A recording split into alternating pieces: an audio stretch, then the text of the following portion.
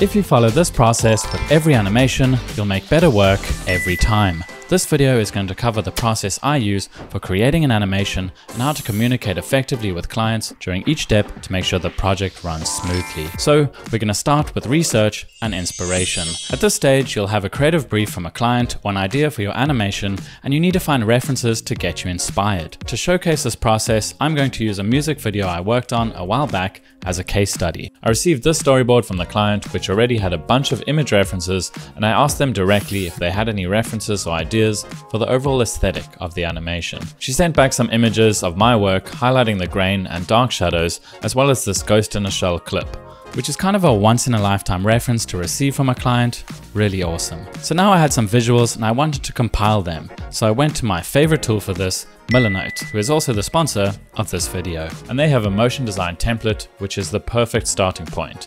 So let's use that and edit it for our purposes. And this is what I ended up with. So let's jump into the mood board. And I had to recreate this from scratch because I deleted my original board because I was on the free version and I ran out of boards. But really, that's on me. I included images from the client storyboard and I collected a bunch of references to assist with some of the scenes. With this project, the animation was going to be simple and minimal. So I knew I had to put more effort into the illustration to compensate for that. That's also why I spent a lot of time in the pre-production stages really refining my storyboard, but more on that later. So after some discussion with the client, the vision for the music video was a futuristic, edgy, run-down, cyberpunk version of Cape Town. So I included that here to keep it in mind. Then there's the Ghost in a Shell reference that I pulled from the video she sent and a screen cap directly from the movie that I wanted to reference. I've also always loved the backgrounds from the Batman Beyond animated series, and I thought this fit in really well with the futuristic, dystopian aesthetic. And I wanted to quickly mention Milanote here. Milanote is a tool for organizing your creative projects, and it's really great for collecting references. If you install their web browser extension, you can literally be on any web page and grab images for your boards really easily. So let's take a look at Batman Beyond backgrounds in Google search. If we select an image, right click and select save to Milanote, it allows us to save to whatever board we like. Then we can repeat this multiple times on multiple websites, and then we can come back to our board and just drag them right in. Think about how much better this is than downloading all of the images and collecting them in a folder to do who knows what with. And this way, when you're sketching and illustrating, you can see all your references easily in one place. Lastly, for our mood board, I decided to go with some old school muscle for the car and this Ford Mustang 1969. And I made sure to get a few angles because we're going to be hitting this from the front and the back. and now we're moving on to the pre-production stages. I highly recommend you spend a significant amount of time in this stage getting everything right. This not only makes the product better, but communicating with your client during these stages allows you to deal with problems earlier so that they don't lead to headaches later. Think about it this way, it's a lot easier to make changes to a sketch than it is to a fully animated scene or even an illustration. I'll explain how to communicate with clients at each stage as we go. So let's get into storyboarding. The first thing you're going to send your client is a rough storyboard. So get out your pencil and paper or your drawing tablet and hammer this out. And how you approach this process will depend on the type of animation you're making. I ended up using a video timeline in Photoshop for this because it was a lyric video and I wanted to nail the timing with an animatic in these early stages, but I'll talk more about that just now. And I just want to make it clear that during the storyboarding phase, you should be looking at any additional references you need to get the job done. References are your friend, always use them. My best tip at this stage is to iterate on your sketches. So create a rough sketch, then create a new layer and drop the opacity of the first layer and draw another version on top, thinking about how you could make it better. This process of iteration always improves the result. It is even more applicable when you're refining sketches and you can apply this process to each stage. So when you're in Adobe Illustrator, you can think about how to improve on the sketch and when you're in After Effects, you can think about how you can improve the illustration. This mental cue has helped me create better work so many times. If you're working on an explainer video, you'll likely have a script and you'd want to provide animation descriptions for your client. So you could simply add these in the captions or you could start with Milanote's motion design storyboarding template and replace the content. Super useful. And before moving on, you'd want to get this rough storyboard approved by your client. It's important when sending rough storyboards that they still look neat and professional.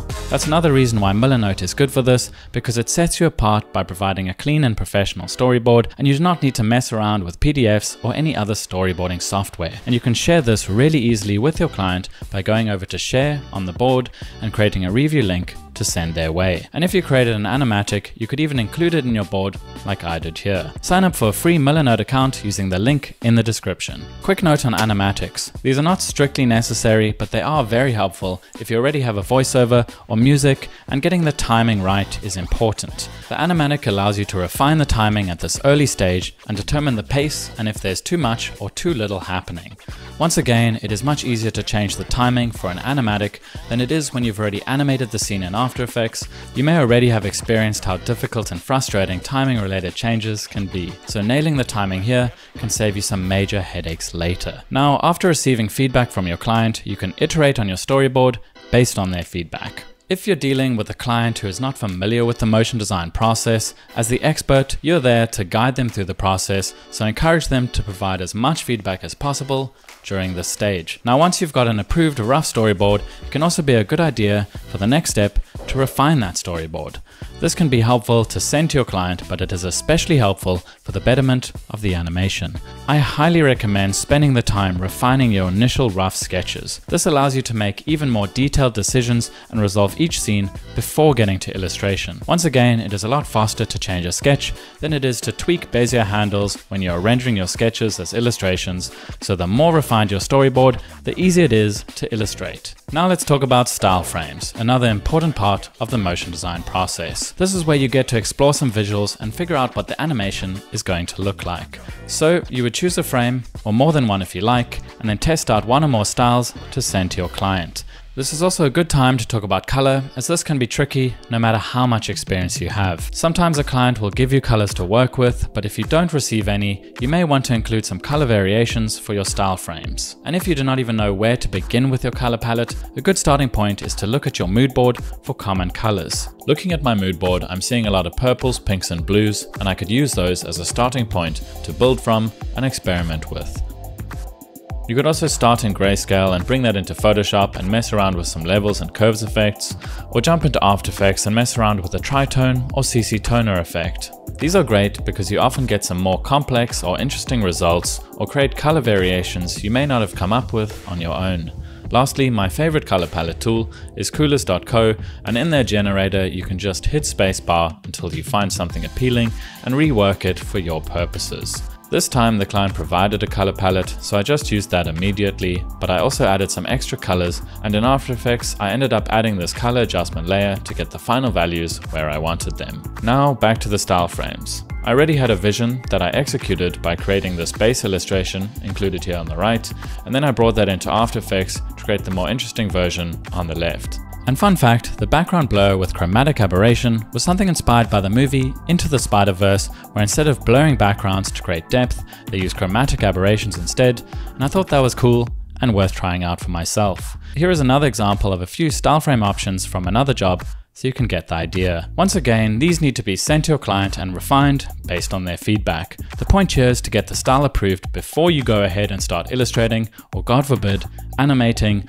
the rest of the scenes. So once again, you can use Milanote to send your style frames to your client with the review link where they can make comments right on your board.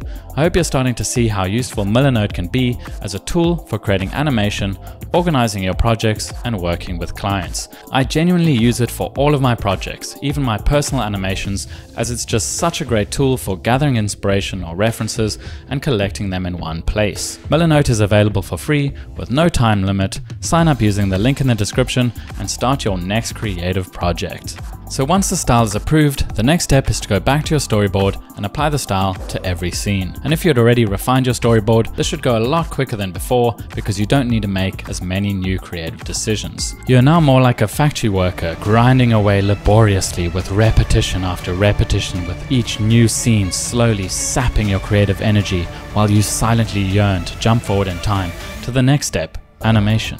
This is the culmination of all your hard work in the pre-production stage. Your effort should be rewarded and things should run smoothly. The only thing that can break your stride at this point is a difficult client who loves to nitpick, aka all of them. In my case, I used the animatic in my timeline to make sure I maintained the timing I worked out with the client and then cracked on with each scene. Once you've created a first draft, you need to get client feedback again, and my favorite tool for this is Frame.io, simply because it allows clients to make timestamped comments and point to things with drawings if need be. This really makes feedback easier on both sides, so use it, you won't regret it. And at this point, you've completed the process in the smoothest way possible, you've sent your final invoice, and can marvel at the awesome animation you made. And now that you understand this process, you can use it to repeatedly and consistently create quality results. You're welcome. Hit subscribe for more Motion XP.